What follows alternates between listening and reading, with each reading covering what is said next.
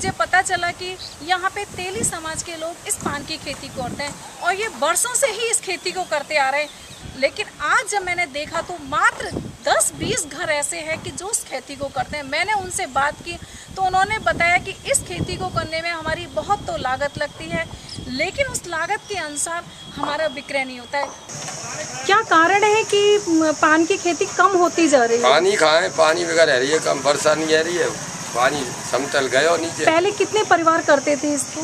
कम से कम एक पाँच छः सात सौ परिवार करते। आज कितने परिवार इस खेती अरे अब तो दस परसेंट ना रहे गाड़ियों की यहाँ सुविधा कम है। हमारे यहाँ पहले गाड़ी लग रही वो भी नष्ट कर दी। अब तीन चार गाड़ी बदलनी पड़े।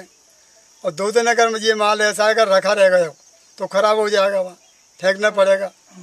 कोई काम कहीं नहीं रहेगा। और सरकार की ओर से कोई सुविधा? और सरकार की ओर से हमारे लिए कोई सुविधा नहीं मैंने पूछा, ये कितने समय से चल रहा है? तो उन्होंने बताया कि हम करीब 10 साल से इस चीज़ को लेकर परेशान आज भी यदि हमारी हमारे यहाँ पे रोडवेज़ की व्यवस्थाएँ हो जाएँ, पानी की व्यवस्थाएँ हो जाएँ तो हम इस खेती को बरकरार रख सकते हैं। लेकिन नहीं तो जो हम लोग कर रहे हैं वो भी चले जाएँ, क्योंकि हमारा इसमें घर का गुजारा भी नहीं चलता है।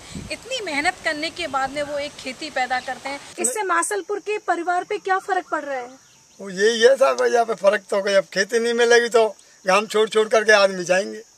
कहीं ना कहीं अपने पेट का पालन करेंगे। यहाँ तो भूखन मरने का काम है। और कोई खेती भी ऐसी है नहीं हमारे यहाँ।